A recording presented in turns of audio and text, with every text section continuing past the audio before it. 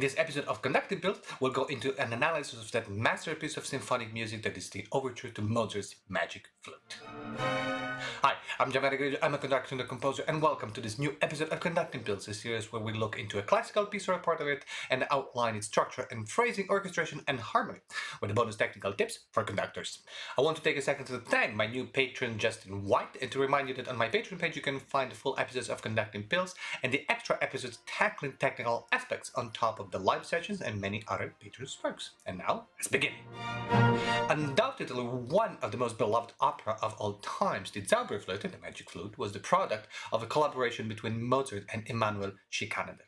Schikaneder was an impresario, a dramatist, an actor, a singer, and a composer. But above all, in this context, he was to Mozart a fellow Mason. Schikaneder brought in a much needed commission for a new fairy tale opera for his theater, the Theater auf der Wieden. The premiere took place on September 30, 1791, just a couple of months short of Mozart's death. Those who sat in the theater during the premiere must have noticed the drawing decorating the first page of the libretto, a drawing by Ignaz Alberti, editor of the libretto and Mason brother of Mozart. To many, it might have seemed a simple representation of an archaeological site in Egypt, but the allusion to the masonry were not lost to some. The path from dark to light, the star in the middle, a trowel in the front. There are plenty of books on the subject. One I find particularly interesting is Mozart's The Mason by Anna Manfredini, published by Lo Scarabeo Libri in 1991.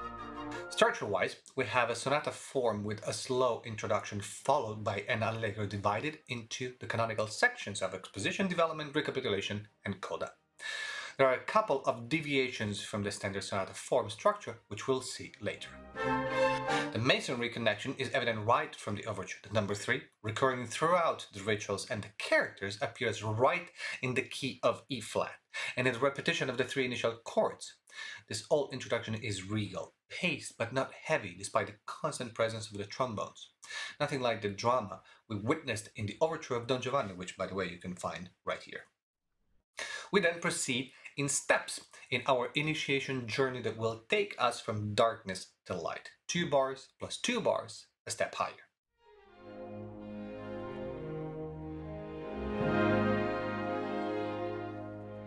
Two bars of up and down, and notice the harmonic subtlety in bars 10 11 with that G flat and A natural.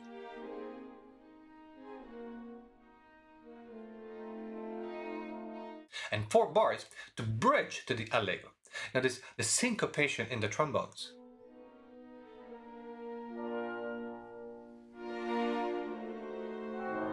Here's the first deviation, so to speak, from the regular sonata form. The theme is presented in the fugato fashion. Four bars in the second violins on E flat. Look at how the basic cell of one bar moves up a fifth in the second bar.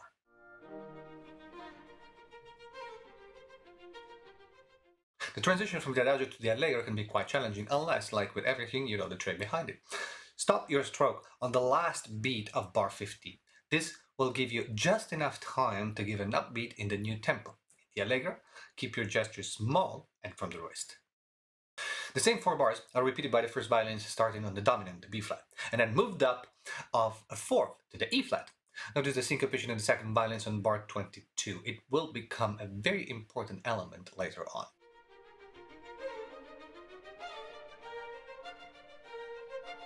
Three bars of bridge and the theme is exposed by the bassoons, violas and cellos again in E flat with the violins in counterpoint.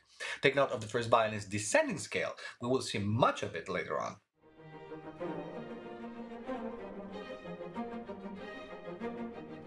Two final bridging bars take us to the first forte.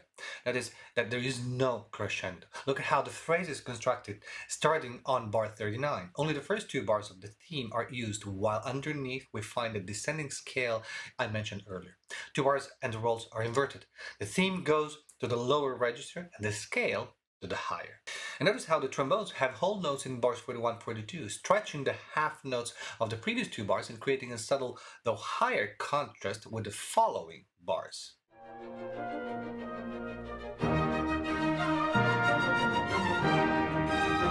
That syncopation we encountered earlier is back in full force in the bass line and moves to a higher register, four bars later landing in a modulating bridge.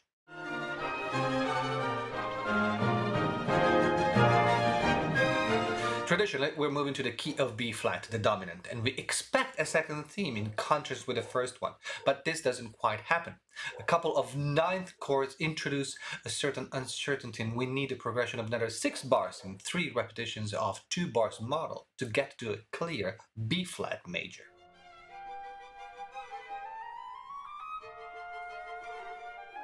But then again, this does not really sound like a second theme. The main cell of the theme is there, bouncing back and forth between bassoons and clarinets. Is this now a counterpoint to the oboe and flute line, or is it the other way around? Moreover, we're taken to the forte after only four bars where the full orchestra plays the main cell and the syncopations.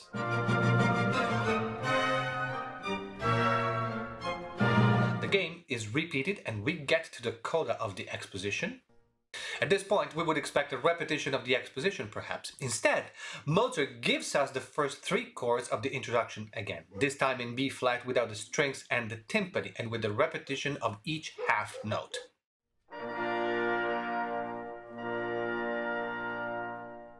The following allegro is the development part of this overture. Naturally, we start with a theme in B flat minor this time, underneath our descending scale.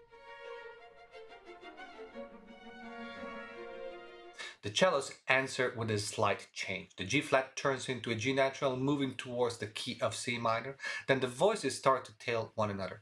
The descending scale in the bassoons, oboe, and flute, while the theme underneath is part of progression in fifths, landing on a G minor in bar 170. After one full bar rest, the development continues. The theme is shortened and enriched with a contrasting forte piano answered by the flute bassoon combination playing off the material in the would-be second theme section of the exposition.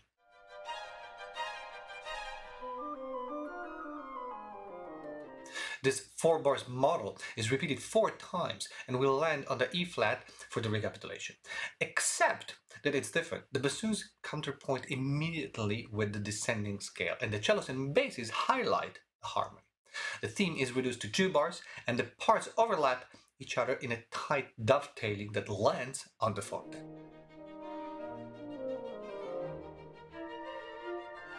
The recapitulation proceeds as usual. Mozart makes some changes in the coda. Look at the powerful horns, trumpets, and timpani in bar 211 and following. And notice the sforzato of the trombones in 219 to 221.